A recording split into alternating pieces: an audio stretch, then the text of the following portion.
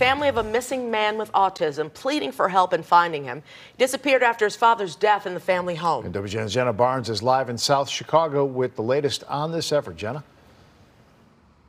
Yeah, Brian Micah, Jonathan Baez was the caretaker for his sick father. Last week, the family discovered his father had passed away at the home the two shared, and Baez has not been seen since.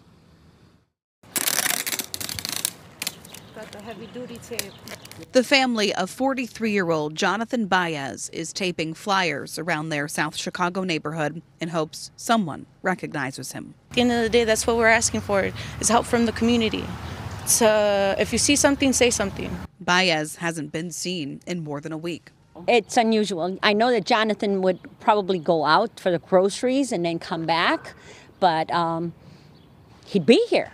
Baez has high functioning autism, and he took care of his dad, a retired Chicago police officer who had Parkinson's disease. The family last saw Baez on Easter Sunday, and after he didn't answer calls later that week, they went to the house near 87th and Baltimore Friday and found his dad dead and Baez gone. Did he see something that scared him so bad that, you know, he's he left?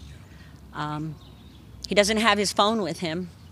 Uh, we found keys in the back, but that doesn't mean he didn't drop them as he was leaving. There was no foul play. The police had searched and said no. Baez doesn't talk much, but he loves to write and he spends time at the South Chicago branch of the library. He also often takes the train downtown for walks through Millennium Park.